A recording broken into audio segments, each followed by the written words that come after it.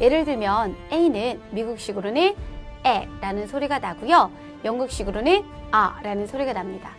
그래서 묻다 물어보다 라는 단어인 ask는 미국식으로는 ask, 영국식으로는 ask로 학습해 주시면 됩니다.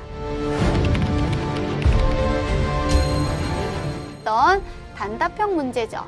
이와 같은 단답형 문제는 어디에 포커스 맞추자?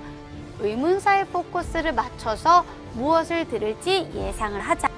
클리프튼 가에 있는 집은요, 무엇을 가지고 있을까요? 어디에?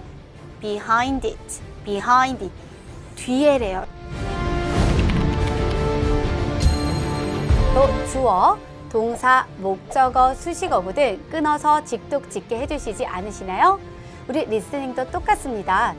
긴 문장을 직독짓게 해주시는 것처럼 리스닝도 의미 단위로 구와 절로 끊어서 직청짓게를 해주셔야 됩니다.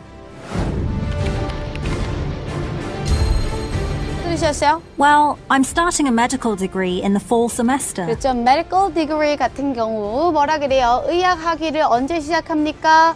fall semester 가을 학기 시작합니다.